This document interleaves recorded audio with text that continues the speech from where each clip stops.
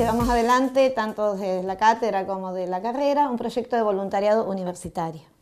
este, que se denomina Emprendedorismo de Alimentos, que fue aprobado en el, el año pasado, en el 2015. Si definimos lo que es el emprendedorismo, es todo proceso por el cual una persona o grupo de personas convierte una idea en un proyecto. Y esto implica innovación y empleo.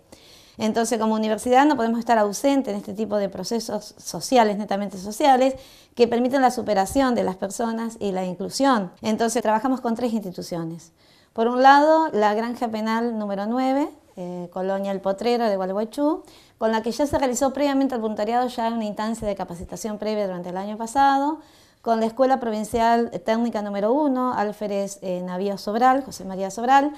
eh, también con los que ya se han realizado trabajos previos y la escuela en particular eh, va a desarrollar productos con materias primas regionales y además también otra de las instituciones es el municipio de Gualeguaychú con los que ya participamos en una mesa intersectorial local donde estamos atendiendo al sector de emprendedores. Y bueno, entonces fuimos invitadas a la Semana del Emprendedorismo a participar para, bueno, en una primera etapa presentar el proyecto junto a las otras instituciones participantes y en una segunda etapa eh, realizar una de las actividades previstas en el voluntariado, que es un taller de buenas prácticas para emprendedores. Desarrollando no solamente lo que exige Código Alimentario, que es nuestra normativa legal, sino también una resolución a nivel provincial que es específica para emprendedores y desde esa mesa intersectorial local que yo te decía hace un ratito, este, lo que pretendemos es que el municipio, a través de una ordenanza, se adhiera a la resolución provincial.